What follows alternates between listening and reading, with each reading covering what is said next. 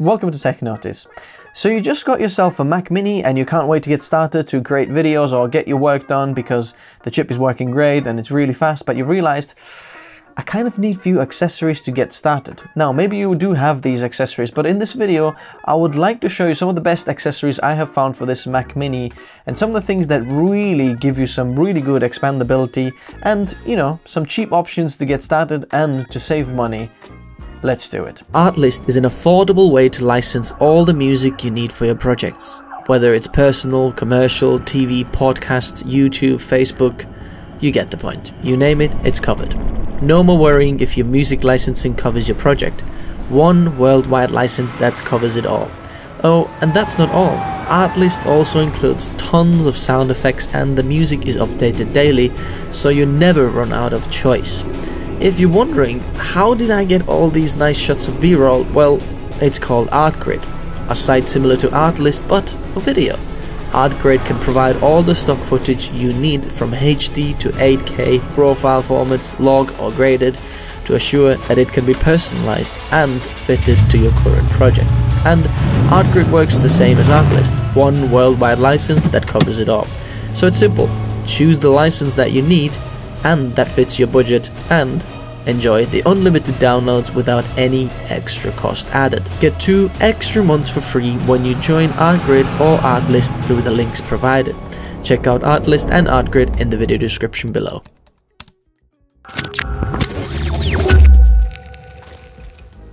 So I do want to mention that everything I'm talking about, I'm going to leave a link in the description so it's easier for you to find. And also it is a, an affiliate link, which means that I will get a commission when you purchase this. So thank you very much. It's no extra cost to you, but it will help me keep this channel going, so thank you very much. So now let's jump into some of these accessories. Now, one of the main and best accessories I have found is this Mac Mini dock over here, as you can see. So this dock over here doesn't just give you some expandability of a few more USB ports and SD card reader and the USB-C reader in the front, but it also gives you the ability to add a 2.5 inch drive in there, whether, whether it's a hard drive or an SSD. So if you do need just a lot of storage to go cheap, then put a hard drive in. But if you need it to be fast as well, here are some of the recommendations you can go for getting some of the SSDs. But just mark this price, it is only $60, sorry, $70 over here. And I saw uh, one of these on sale before for about 50, so definitely check out the link below because it's a fantastic price for something like that. So now let's have a look at some of the SSDs I would recommend.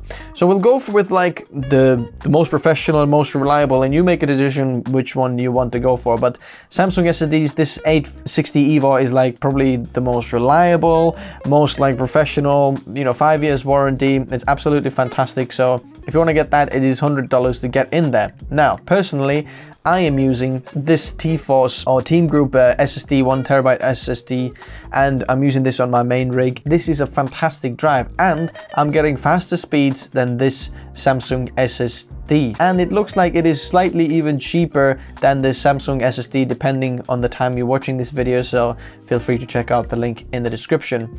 Also, another like a budget option to go for is this uh, WD or Western Digital Green SSD. As you can see, for one terabyte, you're paying $80, which is one of the best prices I could find. And you can expect similar speeds on the drive. So if you want to get something very budget and fast, then this is a great option for you. I put this in here as well because if you are looking to expand the storage but you already have some of the SSDs or hard drives and you're thinking ah, how can I attach them to this Mac mini? Then by getting this little USB connector thing you can basically attach one side to your SSD or hard drive and then the other side to one of the USB ports in the back of the Mac Mini or if you already have the dock in the front of the dock or it also uses a USB-C adapter that comes with it. And look, it's only $11. So whatever SSDs you have, even maybe you're a PC user and you've got some in your PC already, you can just attach them and then read them over here. Now keep going on the storage avenue. There is an M.2 NVMe drive enclosures. So if you need something really fast to uh, Um, you know, get your project going or if you're doing video editing or things like that, then there's enclosures like this over here that you can get for like $24 and you can attach a M.2, an M.2 drive inside over there. This also comes with like thermal guards and pastes basically. It will keep your M.2 drive cold, but through USB-C or USB 3. 1 Gen 2 spot, you can expand your M.2 storage. Now, I'm gonna give you a few options over here. I'm gonna leave the links in the description as well. So here's like a Team Group T Create Classic drive. It's a one terabyte M.2 PCIe drive. It's a 3.0 drive, PCI 3.0, but there's no point of going PCIe uh, Gen 4 drives with this enclosure because you're not, not gonna get this connectivity through the USB-C, so there's no point doing that. But this is like another Create drive, very affordable, good speeds, designed for creators, fantastic company, reliable, get a good warranty as well. I would go with this. I'm using a lot of uh, Team Group products, so I love them. That's why I'm recommending them. Also, I found another cheap one over here. This is Western Digital one terabyte one, and this is less than $100 as you can see. So if you want to save a little bit more, you can go with this one. Or there is a Crucial drive over there, even slightly cheaper than the Western Digital drive. This is P1 drive. It's slightly lower speeds over there, but it also depends like on the M.2 closure because the closure might actually cap your speed. And then there is some really fast storage that you can get for Sabrent Rocket, which uh, I'm using a lot of Sabrent devices as well.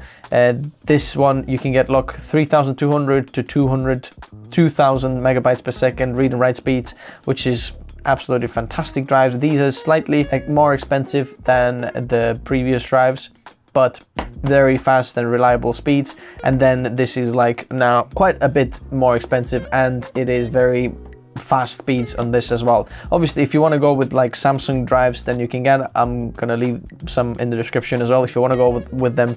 But in my opinion, you're going to pay uh, quite a lot more for really not that much. But if that reliability and kind of peace of mind is important for you, I'll leave a link for you in the description. You do need a keyboard to mouse to get going on this because there's no nothing that comes with it. It's not a laptop, you know. So one of the best options you can go for. Let me go with like some of the more expensive ones first and then we'll go more budget ones.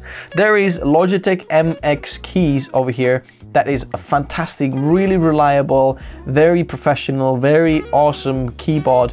Uh, wireless as well, so very good feel on this keyboard. Like pretty much as good as it can get without paying ridiculous price for a keyboard.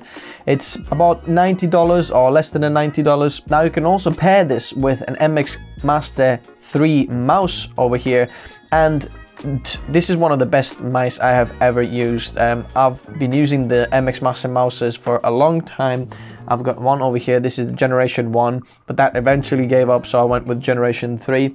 You can get generation 1 MX Master ones for 38 dollars I think I found so I'm gonna leave that in the description as well but this is like probably one of the best mice you can get there's a lot of different buttons that you can customize and different applications fantastic. Quickly moving back a step and talking about the keyboard and probably one of the best keyboards you can get is this Logitech Craft keyboard and you're thinking $170 for a keyboard, it's insane and I agree with you, it is quite insane. But some people, you know, whatever they buy, whatever, so this might be for you. This is a fantastic keyboard because for one this reason there is this little knob on the top left of this keyboard allows you to customize that little knob to different things in different applications. So if you're using some of the creative applications, you might want to get this one to kind of get another little dial to uh, customize your workflow to get faster, not going into settings and, you know, changing some of the things, but having another physical button that can change a lot of things. As you can see, there's like Adobe Creative Clouds and,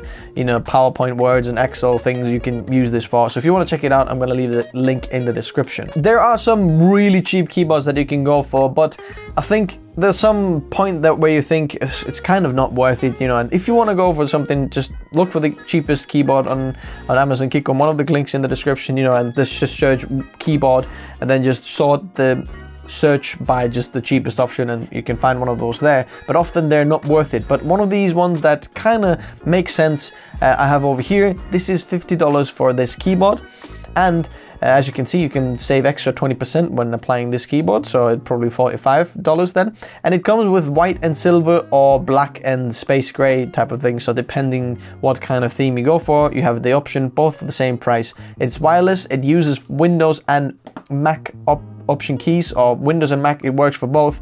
But if you go with this Mac Mini, as you can see, there is a command and option and control and function key layout over there, very well put in there. So it's kind of like a Mac keyboard, which is much better to use with this Mac Mini. I have tried to use my Windows keyboard. To be honest, it's a little bit of a nightmare and getting used to. So if you new and wanting like a good cheap keyboard, then this is a good option. I have used some Jelly Comb, what's it called?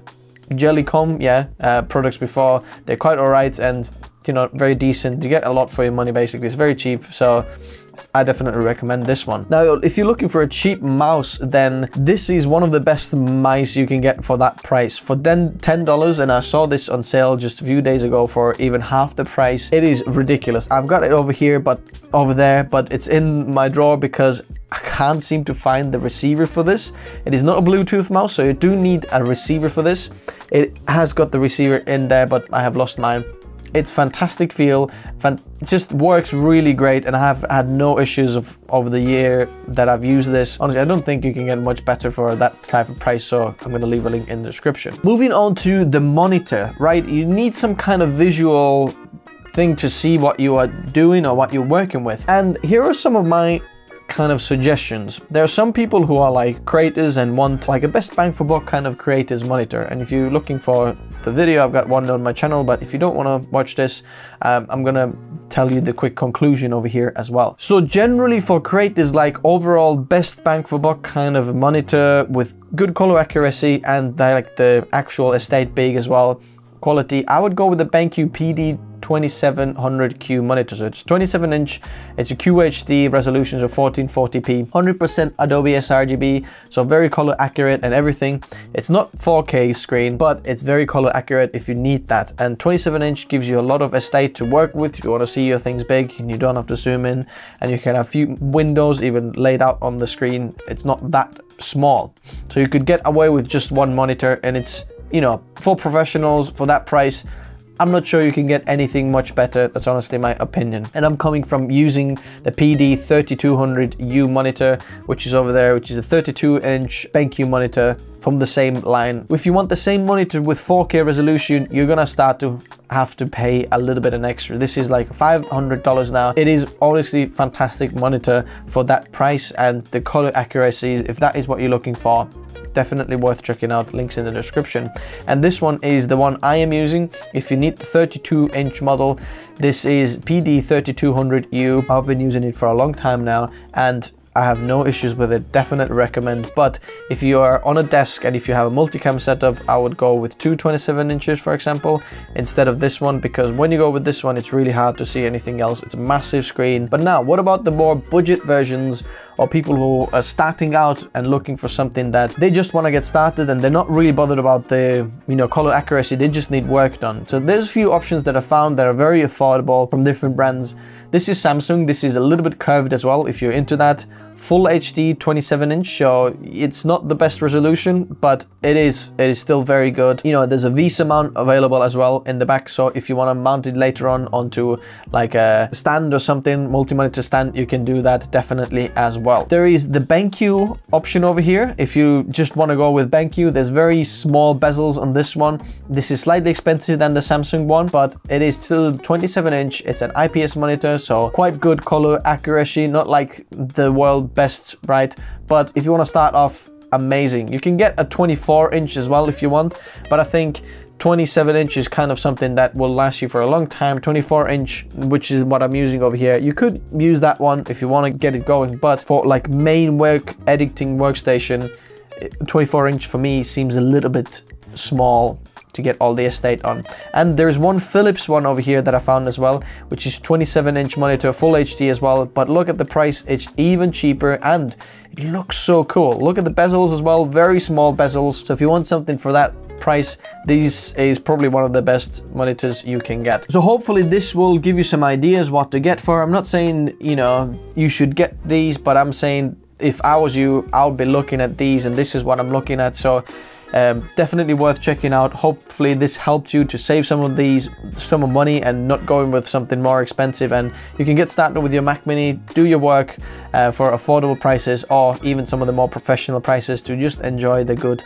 Apple experience. Remember all the links that I'm talking about are in the description and you can check them out below. Thanks very much guys for watching. If you liked it, hit that like button. If you enjoyed it, hit that subscribe button because more content like this is coming out every single week. Stay tuned and I'll see you very soon. Thanks guys for watching. Bye bye.